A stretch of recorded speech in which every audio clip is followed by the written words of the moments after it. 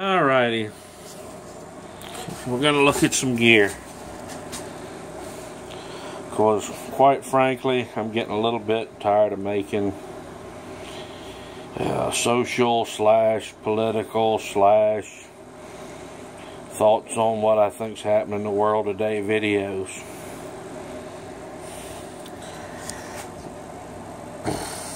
First thing, this setup's kind of centered around my AK-47 and my Beretta Inox 92 pistol.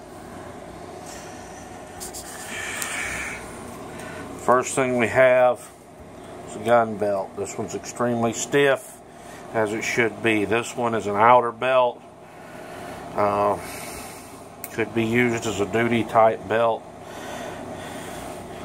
Critical on these with all the weight this is going to be carrying are the belt keepers. They go a long way in keeping this belt in place because they wrap around your inner belt, keep everything where it should.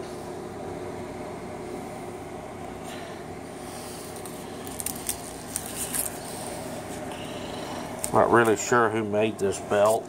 Let me see if I can find a manufacturer on it. I've had it a while.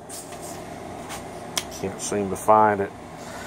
Typical of your tactical type instructor type gun belt.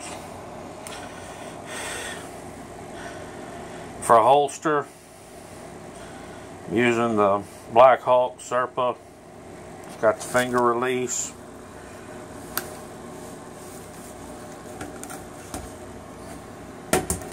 It wasn't giving any problems coming out. I just had it at a funky angle. Beretta 9mm Inox pistol. Carries 15 rounds plus one in the chamber. I carry one set 147 grain Winchester hollow points in it. Just regular white box stuff. Ballistically, I found them to be good to go.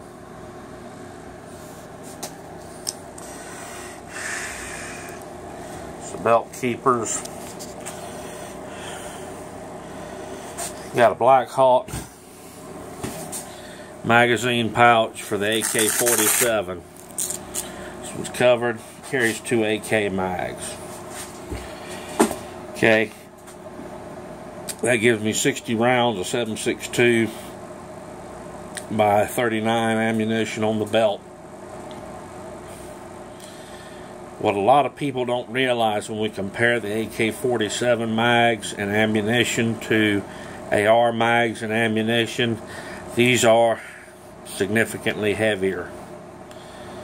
Uh, but I found this today at Big Bend Outfitters and uh, I was looking for something because one of the competitions I've got coming up. Uh, you have to, you're mandated to load from your belt. You can't use a chest rig. You can't use a flick vest it's got to come from your belt or your pocket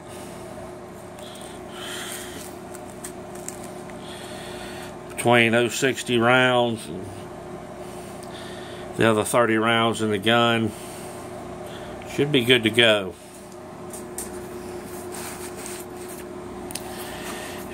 Next, a little nylon sheath there. Believe this is a Frost cutlery knife. It's a skinning type knife. I know the Frost cutlery typically is not the highest quality. This one Holds a good edge, it's sharpened up good, full tang. And having that straight blade, fixed blade knife, for what it's worth, still a lot sturdier than my pocket knife, which stays on me just about all the time. But this gives me a little heavier duty option. Next we have the Uncle Mike's double mag carrier.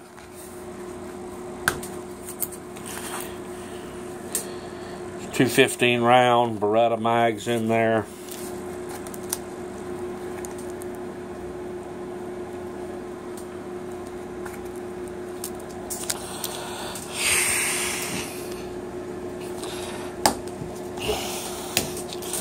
And there's the other one. So that gives me 41 rounds pistol ammunition with the gun in the belt. This is not my everyday carry setup. In Florida, we generally have to conceal our handguns. And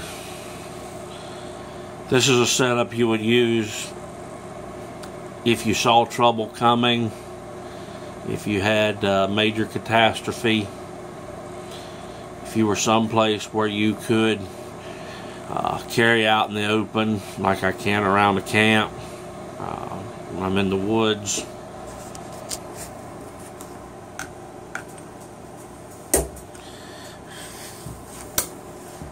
And the gun's back in place. This setup, you know, gives me something I can throw on reasonably quick if I see trouble coming a, a ways off. You know, is it my everyday rig?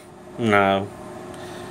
I typically use this when I'm teaching the more advanced classes. I would use it, you know, if we had an emergency come up where open carry would be appropriate. Now we're limited in Florida on where we can open carry. You're generally limited to hunting, fishing, and being on private property.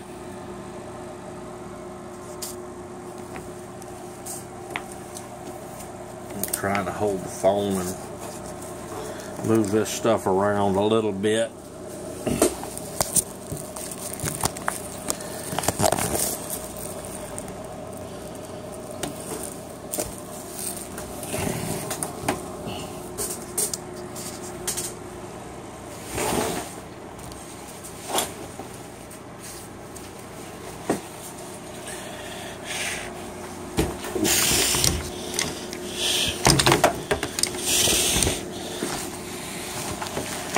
What appears to now be a mass of camouflage materials, a flick vest.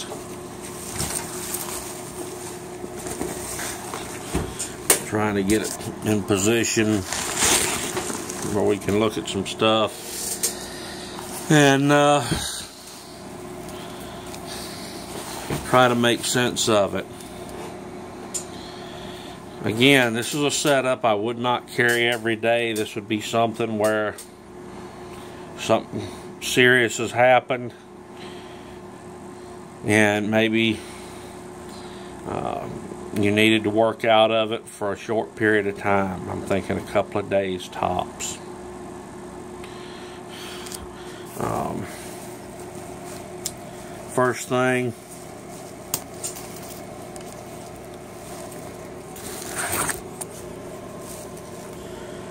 have a larger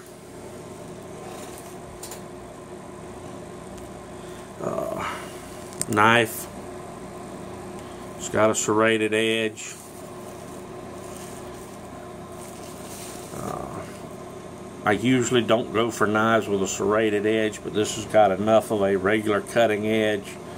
It's not a big issue, and if I have to cut rope or something, I've got the serrations on it.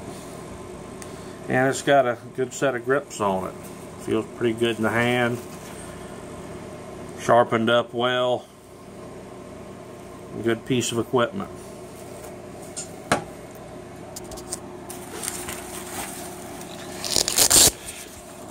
Over here we have universal pistol mag case. But I've got one of these Ozark Trail flashlights in it. It's cheap light. They're about eight bucks at Walmart, but they work really well and they hold up good.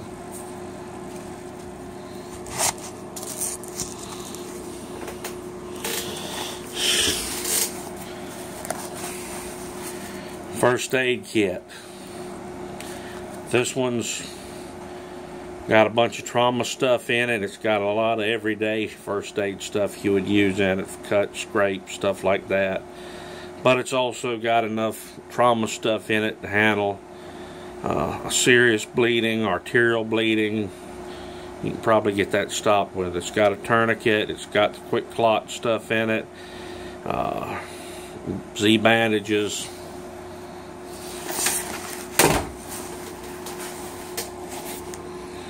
Got a little tag along bag here. We've got a compass, lighter, a couple other things in here.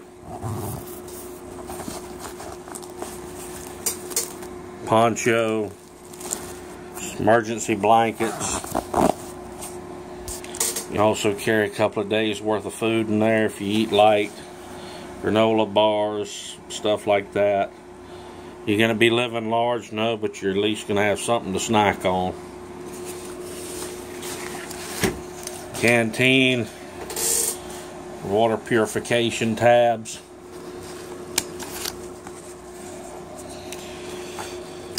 Some people would say, well, you need to be running two canteens. Well, I'm not planning on living out of this thing for an extended period of time. I'll do the best I can with what I got.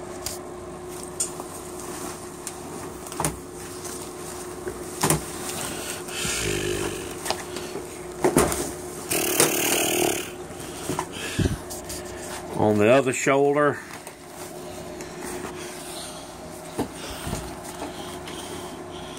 I know this video isn't going to show everything like I want to. Got the extension mic for a ham radio. I've got it run down through the MOLLE. There's a radio pouch. This one's programmed into our hunting channel. These radios typically around here are good for anywhere from two to five miles.